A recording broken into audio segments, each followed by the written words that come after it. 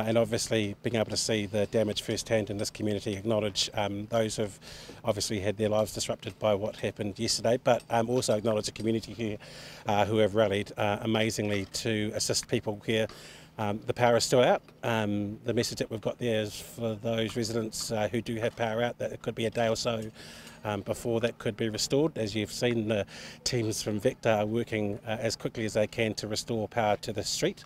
Um, but then there's also um, initial individual assessments of properties to see whether or not it's safe to get um, power back into homes. So that's being worked on at haste. There is a, a, public safety message that the likes of FENZ would ask us to send as well. Um, obviously, with power out, there's potential for, for the use of candles and other such things. Uh, if people can be extremely careful in those situations, um, we don't want to make a pretty perilous situation uh, even worse.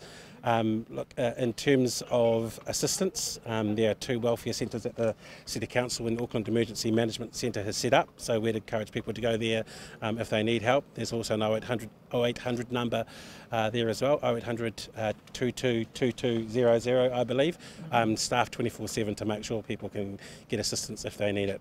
Um, I'd also like to announce that the government, and uh, through the help with uh, uh, the Auckland City Council, was going to commit at this stage $100,000 to uh, a Mayoral Relief Fund.